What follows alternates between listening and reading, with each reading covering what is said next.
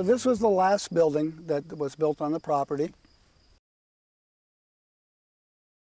The concept of this building was that it goes right along the stone wall and where the stone wall was, it's replaced by the colonnade of concrete above which is a kind of stone and it's where the tall trees were that were cut down. So it represents the trees and the stone that were along that wall traditionally in the past. The roof of this building is a funnel that collects water that goes into a tank in the middle that has 10,000 gallons of water storage in different tanks so they don't build up too much pressure. That's the water that's used in the building. Uh, in order to heat all that, that's inside of a greenhouse that goes uh, up two stories and a little bit more than two stories to the top. The thing on the left is a, there's a ramp that goes up through and through that bridge into the greenhouse and then into the building. And most of the building that occurs is over here, which is office and art gallery and all that. Okay, this is the greenhouse. This is our summer ventilation system. There are these little pipes with screen in it. Then there's some things that open up at the top to let the heat out. We're not growing plants in it at the moment. It's really a heating system. We have a nice glass table We've had Christmas dinner down here. We've had Thanksgiving dinner down here. It's all snow outside, and you can. It's the sun comes in, and as long as you don't do it too late, you got a great, great space for that. Well, I'll talk about a couple things. We have a bunch of cisterns. The, the water in there is cisterns. Uh, there's a septic cisterns under this deck, and so we have a bunch of them. And this goes back to, uh, it's influenced by a piece of, of T.S. Eliot's poem, The Wasteland one of the few rhyming sections where it says, uh, I'll, I'll, say it, a woman drew her long black hair out tight and fiddled whisper music on those strings, and bats with baby faces in the violet light whistled and beat their wings.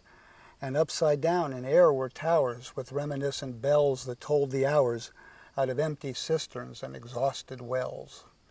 That's sort of been an influence in my thought about the, this. Also, these brick walls, of course, come from uh, some of the work that Louis Kahn did in India as an inspiration, although they don't really kind of line up with anything he did specifically. But the, the method, the method of using the concrete pieces as tension rods and, and having various brick arches is, uh, I, thought, I thought it was beautiful.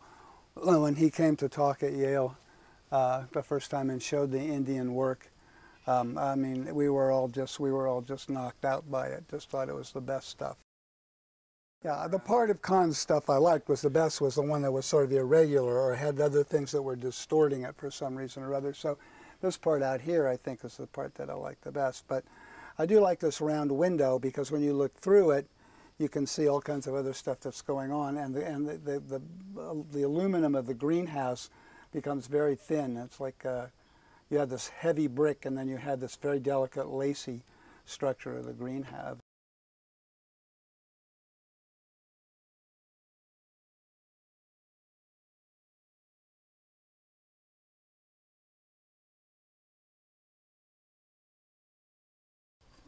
This is the north side of the house, which is a collage. It doesn't really have any windows. It's it has one little teeny window which brings a little light into a hallway that goes to where the bathroom, uh, where the sink is. So you get a little light on the way to the bedroom from the staircase. The, the staircase is white clapboards. The, uh, the, the, the, turquoise element is, um, which I call 20,000 leagues under the sea surface. And then the stone is obviously chimneys. But the inspiration for this wall is Picasso's paintings of the three harlequins. These are the three different textures, different sizes, different images.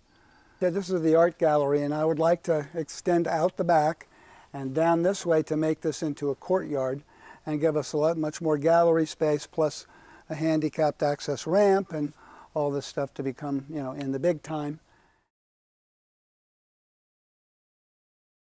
We built this uh, to get the power line over here because there was too many rocks and things to put it underground, and it all comes into the buildings in this corner. So we built this Vierendeel truss, And one of the things we did is that we were afraid that the plow guy, the pl we have plow guys, It doesn't matter who they are, that knock over trees and do just about everything they can possibly do. You can see over here they've wrecked the stone wall with the plow. So I didn't want them knocking this whole thing over with the power line in it, which we call the voltaduct. We call this a voltaduct. Um, so this is very big, but I didn't want all this concrete because concrete is evil in terms of its ecological footprint.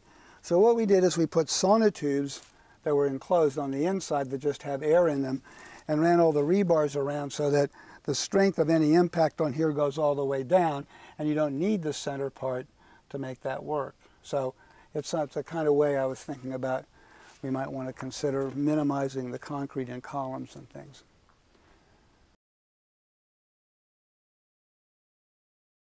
Originally this was just a wall, just this wall barn, like a big barn thing.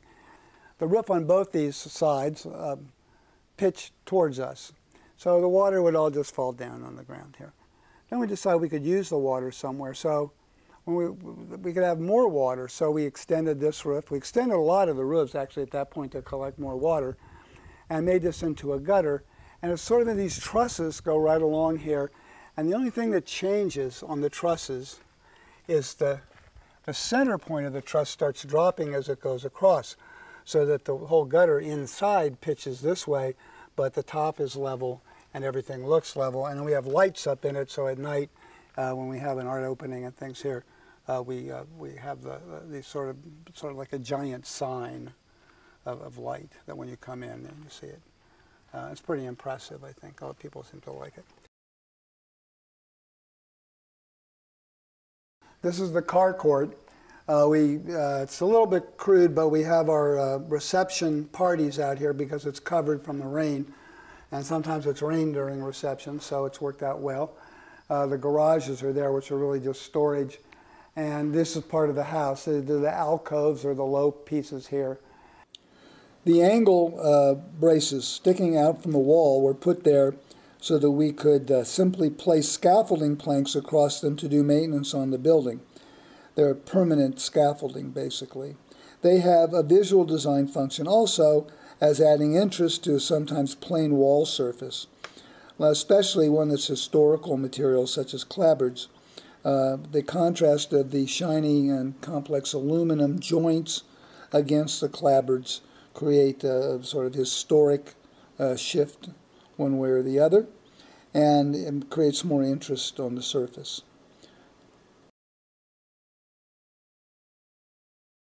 And this, this whole angle and everything is based on Michelangelo's Campidoglio in Rome, where there, there, there, two of the buildings I think were there initially, and then he built one, that which would be that one, uh, and these two are the same, and that was that. So they were kind of heralding the one in the middle.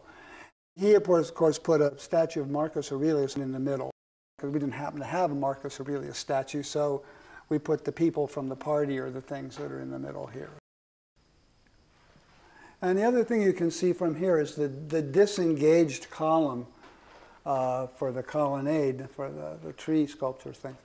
That it's like a jazz thing where you play the, you play the melody and then you, you, you do different things with it. So you have one perfectly sort of virgin column out there and then the others are all entangled and engaged with the building itself, behind the greenhouse, et cetera, et cetera. So this is the only one that's freestanding.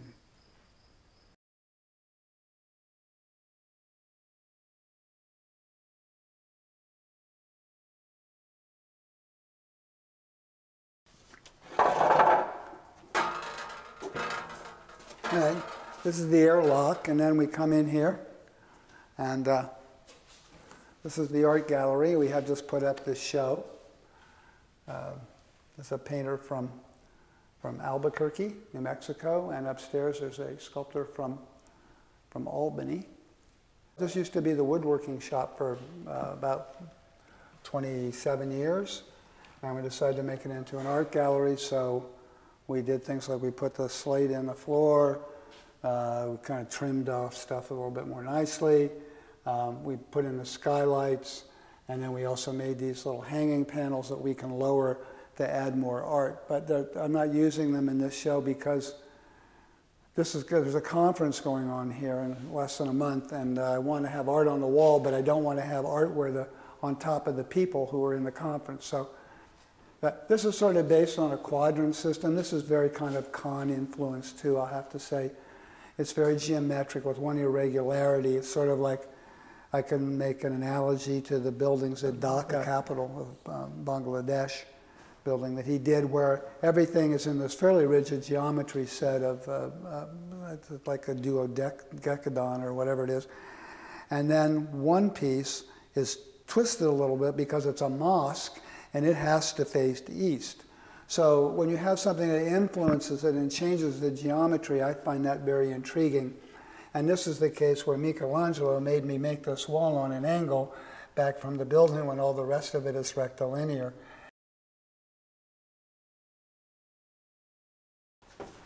And I'll tell you where I stole this from. I stole this from Frank Gehry. He used multiple layers of plywood end grain.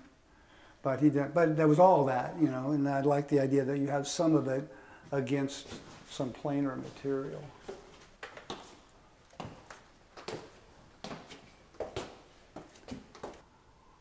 But I think this is sort of nice. You can sort of lean on here and not feel like you're going to fall out. It's not like the Guggenheim. I always feel like I'm going to go right over the edge. First show that we had in 2015 in here, we had Robert de Grenier's glass sculptures on that, uh, the metal uh, grill going across there. So you couldn't really touch them, but there was all the light on them, and you could sort of see and glance down or up from underneath. And so I just put this book together and then I took some pictures. This is under construction. You can see making it. It's sort of interesting in a way, visually, almost more interesting than the actual building. You know, the, I've often thought that the architectural drawings are more interesting than the, than the architecture. But and here's like the water systems, and here's the series of these walls with the and upside down with error towers with empty cisterns and exhausted wells. And then here's the elevations of all those brick things because I was enamored of those. So this is what is now our library. We'll have more, more shelving space as we move over there, and that'll be good. And we have a little desk here with the computer where people can use that. We'll, get it together at some point, but I think we have made a nice shelving system. And then we have a bridge that goes over to the office where we have the bathroom. So when we have the gallery shows, they can go in through here and go to the bathroom. And we have some. Uh, okay, well, this is this is the gallery.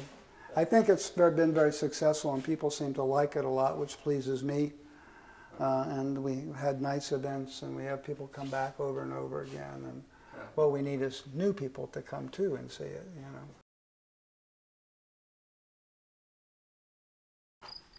Uh, this drum is the entrance drum, and it's the, where the water comes down from this roof, splashes in there and goes down, and it, you can stand inside the cistern that's underneath there and that's pumped out into the house. And interestingly, we always thought, well, we ought to heat it over the winter so it didn't freeze or anything, and then we finally stopped doing that, and it didn't seem to make any difference. So somehow the ground is protecting it or the building or whatever. So, uh, but we had a, we had a thing where we tried we were going to put a light bulb in there, and that was stupid. So we, what we did is we when we were in the winter when we were here, we had a, the hot water heater. We would take a little bit of hot water and just drip it into the tank it's kind of like it would come out of the tank, we pump it out, and a little bit would drip in to keep the temperature up. Which was really clever, but now apparently unnecessary. now also you can see this slot, and this slot is right in, in an axis with the stone wall. So you can actually, and the ramp goes to the top. So when you're at the top of the ramp, you can look down and see out the stone wall. So it creates the axis, basically, of movement in the building.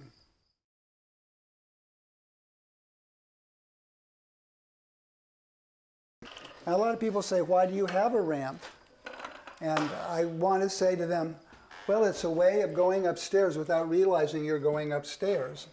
And you get to the top and say, isn't this amazing? I'm higher now, and I didn't actually go up any stairs. But in reality, what it is, it's a different experience. And it does, you don't have to be handicapped to like the idea of a ramp. So this also serves as a little mini gallery. There's an air handling system for winter that sucks the heat from here during the day and pumps it into the office. And then you can have a return here. There's a panel that closes it off or you can open it. So we'll go in the office. It's a mess, but it's always a mess and it always will be a mess. Because it's a real working environment. And it's access to the gallery. We have two big windows into here, so in the winter when the sun's out, you open this up. Uh, it's a little problem with the computer because it uh, it's too much light sometimes in your in your eyes. And there's windows this way which we cover in the winter because they're just general heat loss.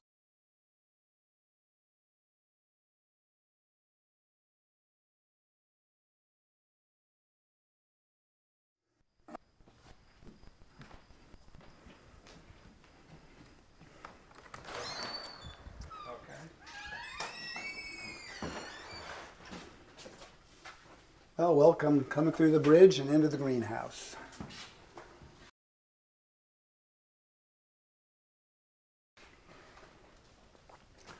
Just looking down into the greenhouse and through and out into the world.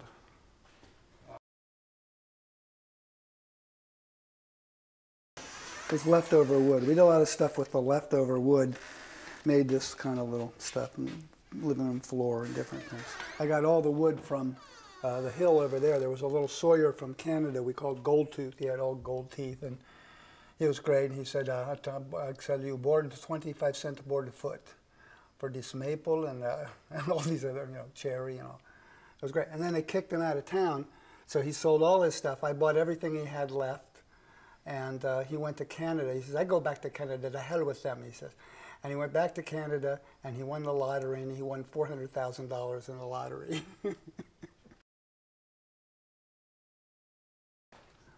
this is the, the, this would be called the living room and we don't use it a whole lot except for when we have guests or something. All right, these are these windows are they're uh, here and in the other in the kitchen side of the building. This is the water tank here, right in the middle, and get that over there, and this one's over here. And when you open these, you have this very expansive, very nice sense of up, of looking up, and you get to see your water tank, and it's all very exciting. Um, you can close them at night for uh, these are triple cell insulating blinds.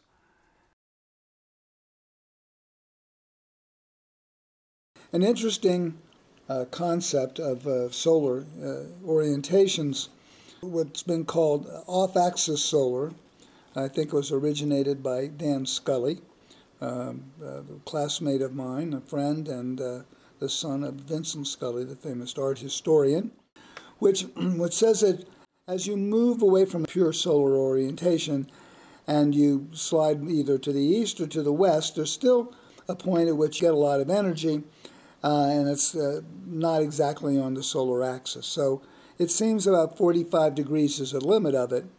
And uh, so as an example of that, we have the water tower that has both the southeast and southwest sides glazed uh, with insulating glass inside the greenhouse as uh, the, the, source of solar energy heating the water in the tanks. The inside of the tanks are just tiled on the concrete because uh, you know, it's, a, it's, it's thermally connected to the building. That's what we want. We want the water, which is over, always over the, the room temperature, to be able to give off some heat into the room. So wherever you see the black tile, that's a surface that's doing it. The white tile is uh, around the stair, everything that goes into the stairwell. If we come up, you can get a glimpse of the kitchen in action. This is a tomato from the garden, tomato uh, processing that's going on. These cupboards are pretty interesting in that they only, the trouble is if you have wood like this, it tends to want to start moving and everything. So you want this to be able to move down and up. So there's little gaps in here, and this U is holding them this way and this way, and that's what's fastened, so that you get this thing. This can be fastened, but the other end isn't fastened, and then it, it's become stable. But it's a, a it's a clever way of doing it. And the floor, I want to point out this tile stuff. You can see where the doors are. The doors have the swing in the pattern of the floor.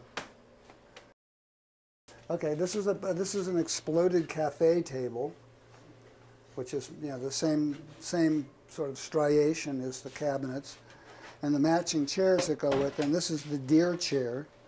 These are now uh, these are uh, over 30 years old. These are 30 years old, and um, uh, you can put little gloves on here in the in the winter to make the antlers. It's the deer chair, so it has to have antlers at times. So. And actually, they're- don't look like they'd be very comfortable, but only a few people that we know complain about it. So, uh, and I'm used to it.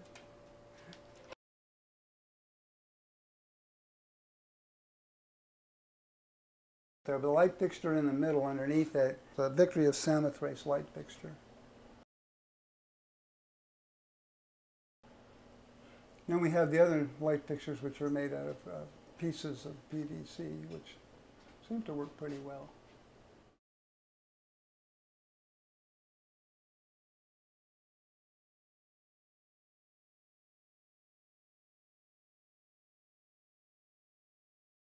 Um, this up, people sit out here, we have parties, and it's nice in the summer, all, all 10 days of it.